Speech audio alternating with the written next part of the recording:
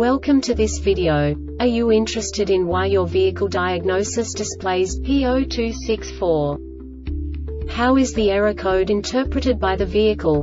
What does P0264 mean, or how to correct this fault? Today we will find answers to these questions together. Let's do this. First, let's look at the history of diagnostic fault code composition according to the OBD2 protocol, which is unified for all automakers since 2000. We divide the electric system of automobile into the four basic units. Powertrain, body, chassis, network. This distribution is defined in the first character code. If the second character is expressed as zero, it is a standardized error. In the case of numbers 1, 2, 3 it is a more prestigious expression of the car-specific error. The third character specifies a subset of errors. The distribution shown is valid only for the standardized DTC code. Only the last two characters define the specific fault of the group. Let's not forget that such a division is valid only if the other character code is expressed by the number 0. Our website airbagreset.sk produces useful videos for you. You do not have to go through the OBD2 protocol anymore to know how to troubleshoot any car breakdown. You will find all the diagnostic codes that can be diagnosed in a Buick vehicles. Also many other useful things.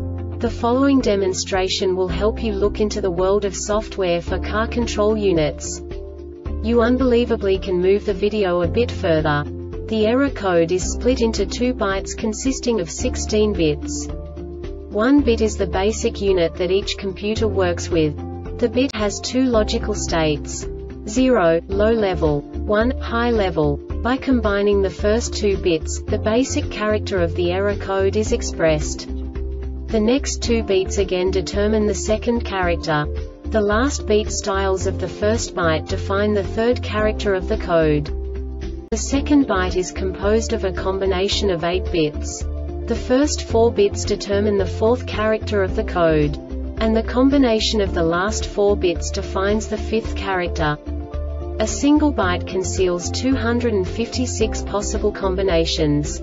We now know in what way the diagnostic tool translates the received information into a more comprehensible format.